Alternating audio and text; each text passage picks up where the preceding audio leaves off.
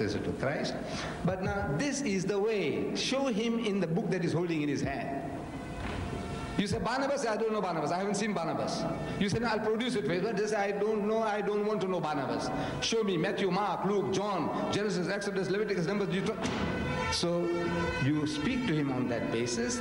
There is a better chance for you to prove your case to him than to talk about Barnabas. So uh, my suggestion is, for your own entertainment, very good.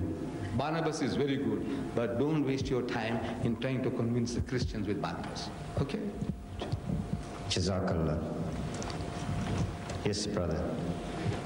Um, Leader, you have made a lot of references uh, not important, just from the Yet when I quote the Bible to my brothers, they don't accept what you say.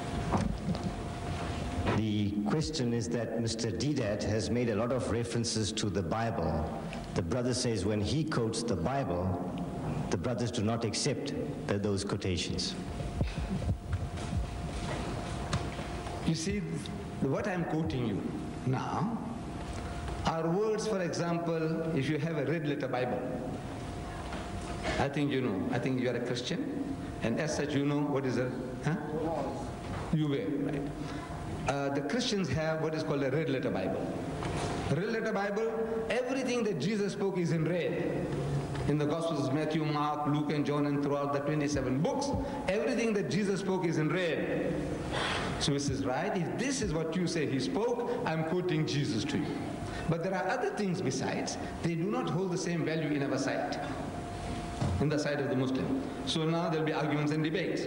We are now arguing on interpretations, which we have said, let's reason. Let us reason.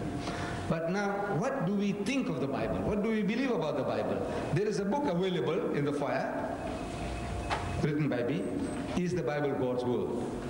In a nutshell, I will tell you there that there are three types of evidences in the Bible, which any sensible man can see. In the Bible, you will find the Word of God, God's Word.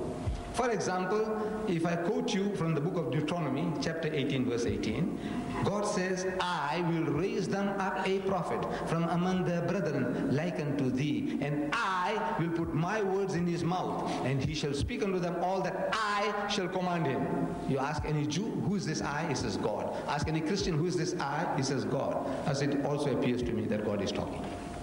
Or in the book of Isaiah, God says, I, I am God and there's none else. I am God and there's none like me. You ask any Jew who's talking, he says God. Ask any Christian who's talking, he says God. And I have no hesitation in accepting it, that this is God's word. That's one type of evidence you'll find in the Bible, where we have no hesitation in accepting it. Then there is another type of evidence which I quoted you.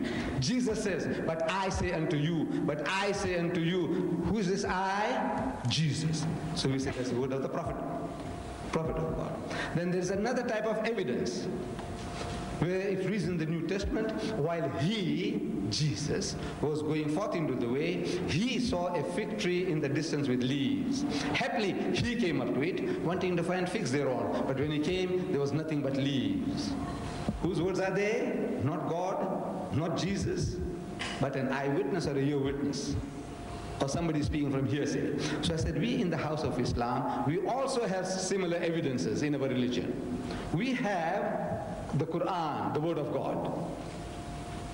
Then we have the books of hadith, traditions, sayings of the Prophet, separate volume. It's not to be mixed with this. Then we have the writings of our philosophers, Imam Ghazali, Ibn Taymiyyah, and so on and so on. Again, not on the same level as the word of the Prophet. Then we have also our Arabian Nights.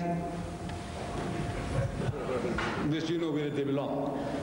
See, the fairy tales among the Arabs. They spoke around the campfires of filthy, dirty, pornographic uh, stories. So there are different, different types of evidence, but we are the most fortunate of all religious groups that our stories are all in separate compartments. And we do not equate the words of the Prophet with the words of God, and we don't equate the words of a wise man with the words of the Prophet. And of course, the Arabian Nights, we know where they belong. So, the, unfortunately, the Christian and the Jews have not been able to separate their books.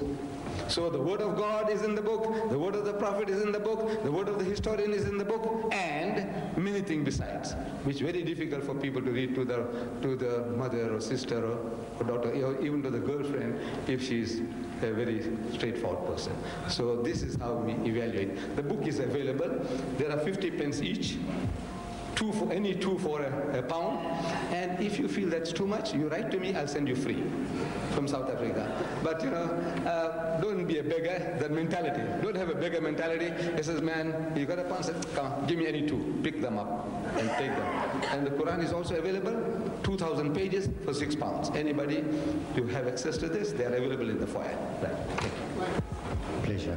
Next question, please.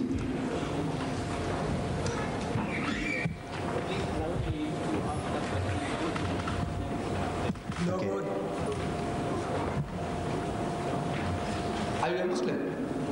Huh? Look, I had the guys playing tricks on me in Pakistan. And since then, I have vowed. Did you understand my talk in English? Some no good. Then there's no sense in me wasting time. If you understood some, now I have to start re-explaining to you again. If you understood it, then you can ask the question in English, if you understood. If you didn't, it's just too bad. I'm sorry. You'll have to get the speech translated by somebody. No Urdu. Small question. No good, small or big. If you understood my English, you have, a right to ask me. If you didn't, please don't waste the people's time and my time. Thank you, brother. Never, huh? In English, can you ask? In English. Can you ask the question in English? You are welcome. Go ahead. Uh, he was describing that uh, between Islam, Judaism, and Christianity, there is no difference in basic teachings. If there is no difference, then why Christian they follow Islam, or why uh, Jews they follow Islam? I mean, why don't they?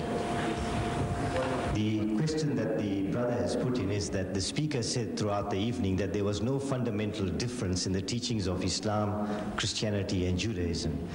If that is the case, or that being the case, why doesn't all three religions then, or, or why doesn't the Christians and Jews follow the teachings of Islam as prescribed by, as prescribed in Islam? It's quite in order, quite in order. You see, we are the children of our environment, programming. In the fundamentals, as I proved to you, no difference. Moses said, one God. Jesus said, one God. Muhammad said, one God. Now, in the interpretations, people differ. You see, you ask the Christian, how many gods are there? He'll tell you one God. What is this God like? Then he says, there are Father, Son, and Holy Ghost. He believes in a triune God, three in one. We say, did Jesus teach that? No.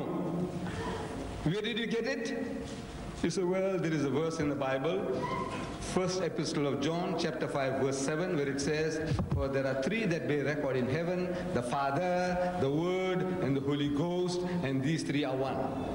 That is the clearest statement on the Trinity in the Bible of the Roman Catholics and the Protestants.